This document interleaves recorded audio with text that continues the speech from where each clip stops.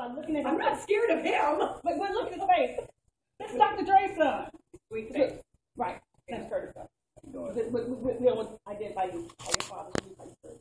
that's yeah. Curtis, welcome to the show. Thank you so much for coming in. What Thanks brings you to St. me. Louis? Uh, I've been, I'm in St. Louis. Uh, I'm actually uh, in, in, uh, in cahoots with uh, some colleagues of mine uh, out of Studio 618. Uh-huh. We are involved with charity. Uh, we have a show, Showing What You Got Foundation, and we are also bringing a new industry to the Midwest because I've seen that it's a lot of talent out here, but they need a lot of artist development. There's a whole bunch of talent. Yeah. and I can too. but I can do it. I'm not just show up people. So talk about um, yeah, you're Dr. Dre's son. Yeah. Everybody knows. You look just like him.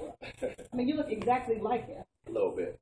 And so, you know, they have that biopic coming up. I know you probably don't want to talk about it. We're going to talk about it anyway. It's all right. It's 9 a.m. But they didn't choose you for the biopic, and you're an actor too. you know what? I, I wanted the best man to get the job, you know. Uh-huh. So I'm not, you know, salty about it at all. I'm, you know, I look at it like, you know, you wanted the best person for it, and you know, I'm happy that, that he got the job. So do you talk to them a lot? Yes, we have a good relationship when he's not busy. You know, Right. he's on set right now. You know, shooting a movie. So He's ridiculously rich too.